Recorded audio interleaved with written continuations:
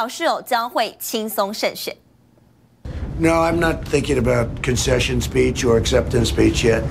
Uh, hopefully, we'll be only doing one of those two. And you know, uh, winning is easy.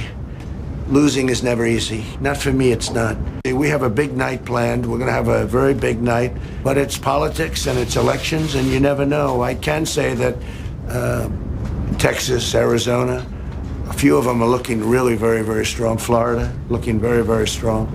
好，川普声音听起来有点沙哑。他说昨晚造势到今天凌晨两点，但是呢，今天他还是距离到白宫不远的维吉尼亚州阿灵顿共和党的竞选总部现场，竞选幕僚是欢呼、鼓掌、热烈欢迎。川普对他们说：“听说共和党在佛州、亚利桑那和德州都表现很好。”川普也承认，虽然有机会可以胜选，但是也有输的可能。而川普在大选之夜已经决定要留在白宫。观察最后结果。